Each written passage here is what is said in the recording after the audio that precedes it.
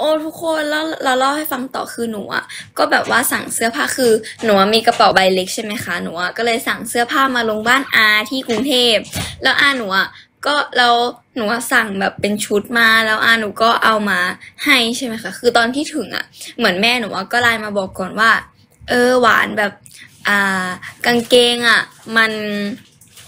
มันเป็นกางเกงเด็กอะไรอย่างเงี้ยแล้วแล้วหนูก็เลยบอกว่า เอ้ย ไม่เป็นไรใส่ได้หวานตัวเล็กน่าจะใส่ได้อยู่แล้วอะไรอย่างเงี้ยเพราะว่าหนูว่าเห็นใน อ่า เห็นในในที่หนูสั่งแล้วใช่ไหมคะแล้วเสร็จปุ๊บอะก็คือแม่หนูอะก็บอกว่า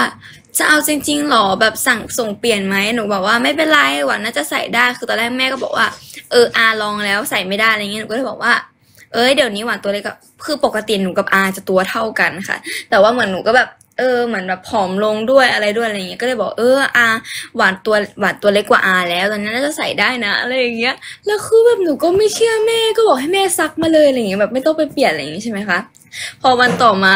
แม่ก็บอกว่าเออจะให้อาส่งให้ที่ไหนอะไรเงี้ยหนูก็เลยแบบอ่าส่งพี่กงพิกัดไป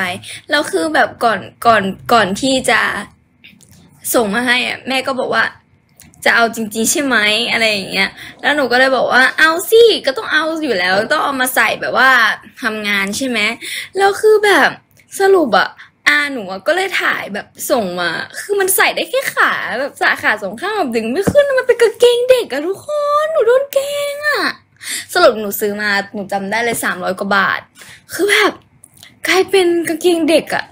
กางเกงเด็กแบบเบบี้อะทุกคนหนูแบบเอ้าทำไมทำอย่างนี้ล่ะ